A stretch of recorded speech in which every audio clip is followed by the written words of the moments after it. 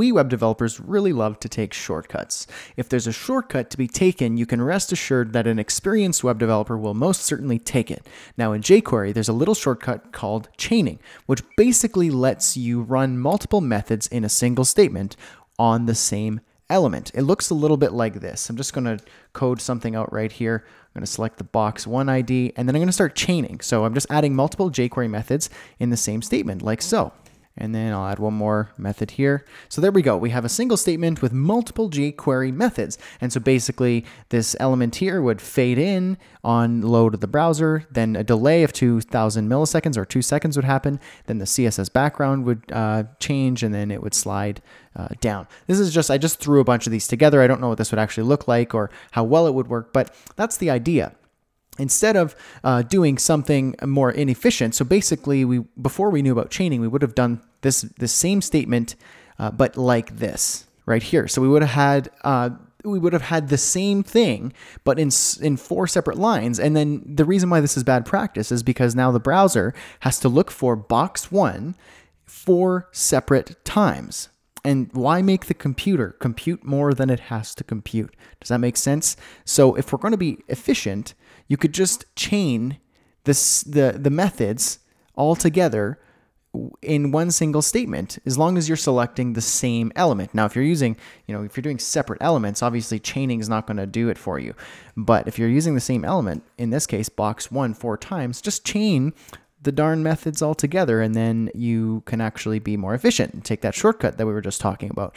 Now, let me do a real world example to show you how chaining actually works so I can prove to you I'm not just doing hocus pocus jQuery magic go to your, uh, well, create a file called chaining.html or go ahead and just download, throw it in your directory here uh, and just, we could just carry on. But if you're the type who wants to practice your HTML and code this out, then you are most certainly welcome to do so. Just hit the pause button, copy out what I added here.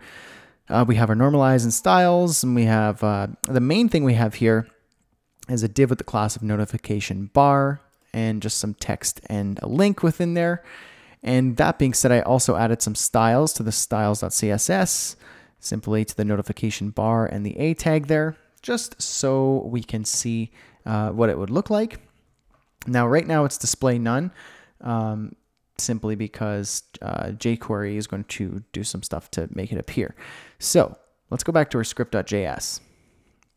And now what we're going to do is we're going to select that notification bar. So class notification bar and then I'm going to start chaining. So I'm going to say delay, which is jQuery uh, method for delaying um, anything after to happen. So I want to delay by one second. So wait one second before I slide down. And then I'm going to delay again another one second and then I'm going to fade out. So just something very simple and probably not incredibly useful, but just to show you kind of how this works. I'm going to show you in the browser. So one second, slide down, another second, fade out. Let me just make these last a little bit longer just so you can see. So it should delay two seconds, slide down, delay three seconds, then fade out. Slide down, one, two, three, fade out. There you go. And so that is how you chain. Now, I could have done these, like I said, in four separate um, uh, statements, but why would I do that when I can actually uh, be more efficient? So anytime you have multiple jQuery methods that you need to run on the same element, just chain it, baby.